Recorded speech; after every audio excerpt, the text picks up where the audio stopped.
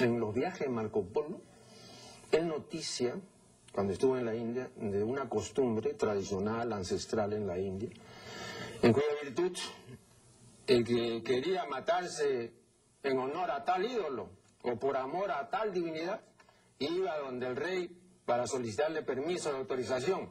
Y entonces le decía, ¿y por qué te quieres matar por tal cosa, como un sacrificio a mi Dios? Ah, muy bien, estás autorizado a hacerlo. Y yo salía y había todo, pues, ¿no? Una ceremonia, lo paseaban por el pueblo, anunciando, este valiente se va a matar, ah, qué bien, a ver. Bueno, y luego le alcanzaban unos cuchillos y el tipo comenzaba a cortarse hasta que se mataba. La familia quemaba el cadáver con gran algarabía y, con la complacencia de todos. ¿no? Eh, testimonio de, Marco Polo está refrendado por quienes le precedieron, porque eh, los precursores de Marco Polo, Marco Polo del siglo XIII, XIV, ¿no? los, precursores del siglo VIII, ¿no?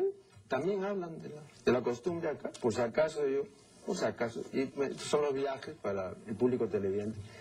Y Sersman publicó un libro bien interesante que se llama Los precursores de Marco Polo, que yo traigo también por si acaso el público se interesa, es este libro.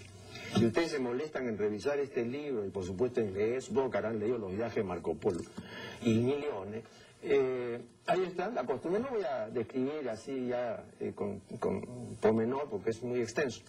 Eh,